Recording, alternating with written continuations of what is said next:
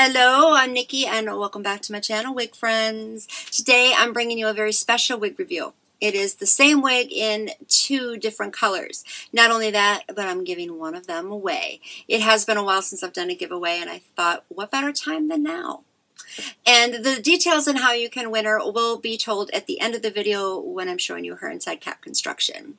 Basically, what I'll be doing is telling you a little bit about the one I've got on now and then swapping them out. You can also say that a different setup going on today. I normally film downstairs in my basement, but I couldn't do that today, and I figured let's do it in front of my wig collection. So let me show you here quick. These are basically all the wigs that I have to review yet. It goes all the way down to the floor, and plus there's another shelf that's over that is full as well. That's a lot of wigs. So you need to join my party and click that subscribe button. If you already have, thank you so, so much. I upload every Monday, Thursday, and Friday, but hello, I do surprise ones too. I don't want you to miss either. And please go in the comments and tell me your thoughts on this wig, and you can let me know too if there's one you'd like me to review. So let's get started. And I have got Janet Collections Junny She's a lace front, and the color I'm wearing now is DR2 Sunflower Blonde. The other color I will be showing you is DR2 Natural Brown, which is this one right here. And she comes in quite a few colors and really pretty ones at that. Love the color selection. She has an extremely deep part, is heat safe up to 360 degrees Fahrenheit, and I scooped them both up from Wig Types for $24.94 each. She is basically a longer version of June. And when I mean a longer version, I got to back up here. Sorry, it's just the way my setup is here. But she comes down to my waist. So I'm thinking 32 inches. I think this is the longest wig I actually have. And June is one of my favorite wigs. And that's pretty much probably why I jumped on this opportunity to pick her up and probably got her in two colors at that. And I love this color. It is gorgeous. It's pretty much similar to a DR 27613 because you do have a number two root and it does go throughout. And then you have some lighter tone of 613 with a little bit of the darker yellow and yellow shade. It is pretty. It's very bright, just like a sunflower. It's gorgeous. And you can see she does have some good luster. It's not bad. Looks pretty natural to me. And her texture, oh, I could just touch this all day. It's so super soft. And it is light yaki. Does feel pretty realistic. I'm in love with this texture. and she does have these layers here you can see just like June did I just find that to be kind of sweet and really good density, especially for her length. It is really good. So I'm going to turn around so you can see what she looks like from the back.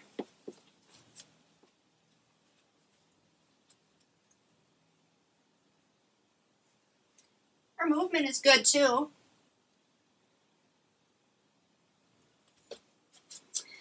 And what I'm going to do is show you her parting space and then I'm going to swap them out see here, I didn't have to pluck anything. It's an extremely deep part for sure. It's a really good one, actually. And it does lay pretty darn flat. This is an easy one for blending, and you can probably just add some of your own baby hairs if you want. Unfortunately, she doesn't come with any. So this is DR2 Sunflower Blonde. I'm going to uh, go swap out now. I will be right back. And I'm back with a wig change. I now have on a DR2 Natural Brown and this color. Lord have mercy, this color. It is simply breathtaking.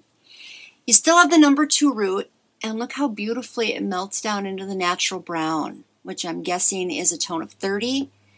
And then you've got the two in the underlayer with the brown mixed in.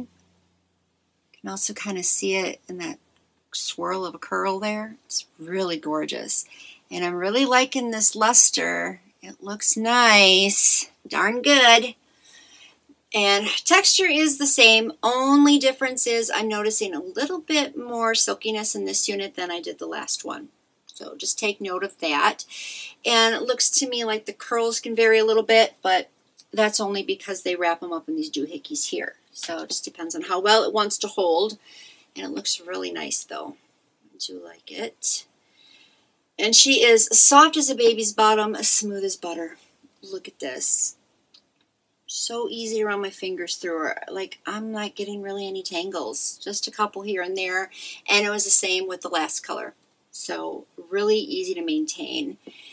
And I usually try to avoid the really long wigs because they do tangle more usually and will get ratty in the ends, especially when it's more straight. But I don't think that's going to be a problem with this unit at all. So I think she might actually be a good work wig if you like really long hair. And let me show you what she looks like from the back.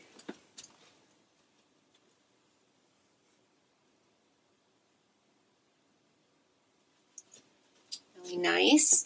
Parting space is the same, but I'm still going to show you. Uh, but first, this is the color of the lace, so you know what the shade is.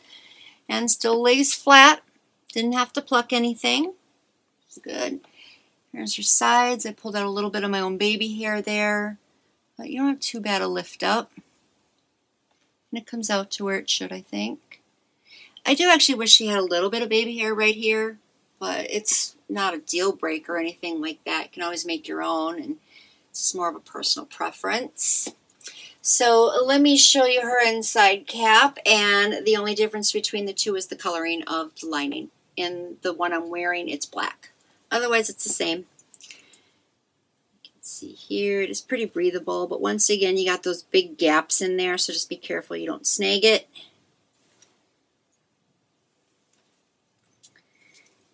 And here's her parting space.